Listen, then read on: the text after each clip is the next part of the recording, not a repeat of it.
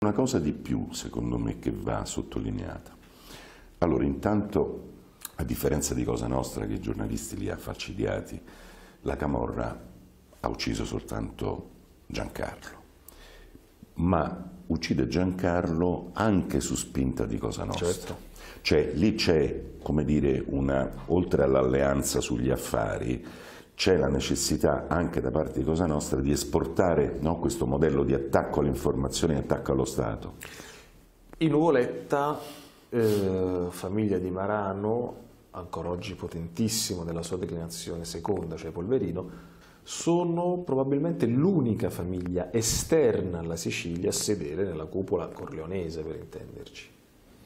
Rina andava a Marano. Certo, Pignataro Maggiore nel Casertare era il luogo che ospitò Provenzano, ospitò Luciano Liggio. Eh sì.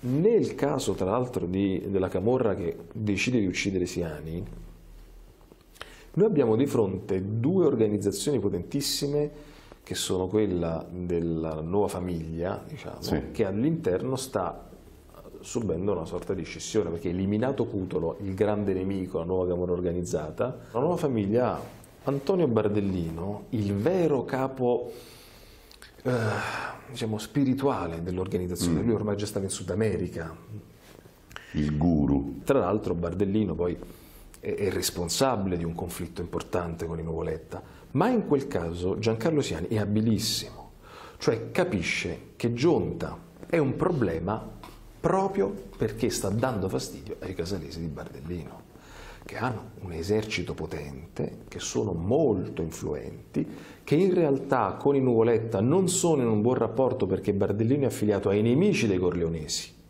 E quindi i Nuvoletta invece sono corleonesi, Sì. e Siani capisce che lì si sta giocando a Torre Annunziata una partita gigantesca.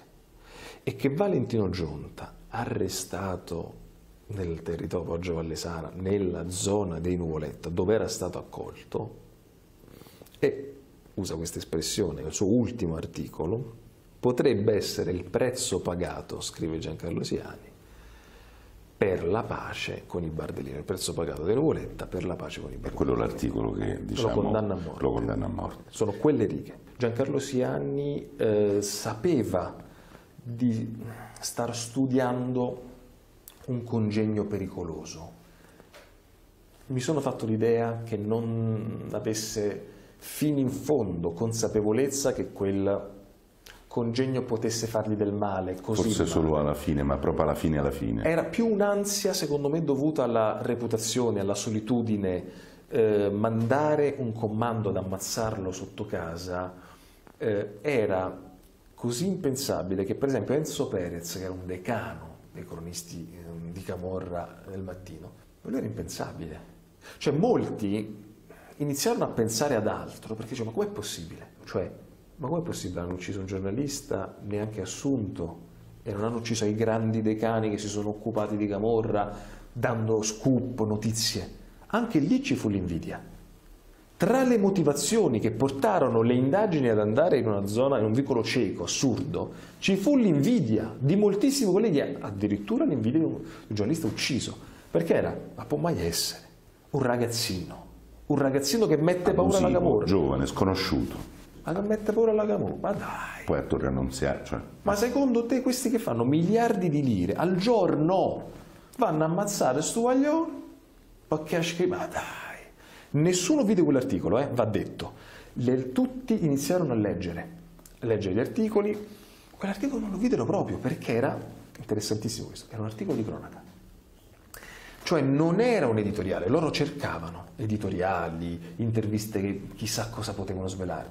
In quell'articolo lui congettura, lui va oltre. Tramite l'analisi arriva alla verità. E siccome è una verità poche righe, è una verità che inizia a rimbalzare negli ambienti di Camorra. Quando vanno da Valentino Giunta, Valentino Giunta non vuole la morte di Siani no infatti, e gli dice se lo fate lontano Torre Annunziata. per carità, altrimenti ci vengono addosso a noi. E i Nuvoletta, in realtà quell'operazione loro la fanno per pulire loro- la loro reputazione criminale, che vale tanto, cioè sono soldi.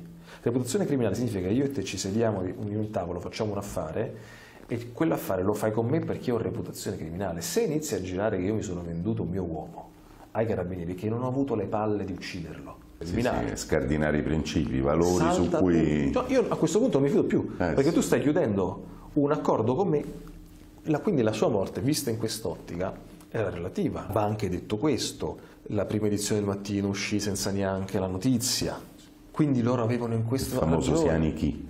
Siani chi? La riflessione che volevo dire che loro si pongono è quanta attenzione avrà questo omicidio? E avevano, avevano avuto ragione per certi versi. Eh certo. Non si aspettavano che il clima politico, culturale del paese era prossimo a mutare. E quindi questo ragazzo ucciso, che per nove anni continuano a dire ma sì, ma tutto il paese, ma sì, ma no, ma quale camorra. E questa espressione è importante ricordarlo oggi, soprattutto se ci sta ascoltando qualche, qualche ragazzo o qualche ragazzo. Perché la diffamazione, sempre che ci fa stare tutti tranquilli, perché se Siani è stato ucciso per questioni di ragazze, storie personali, tu ti senti a posto. Ah, vabbè. Se invece è stato ucciso perché ha scritto la verità, eh. tu devi prendere posizione, devi intervenire, devi cambiare la tua vita, eh sì. devi stare da, da, una parte. Invece è meglio dire, ah, boh, ma quello Siani stava in mezzo ai pastè, chissà che cosa politica c'era dietro, no? Invece c'era il suo lavoro e la sua intelligenza.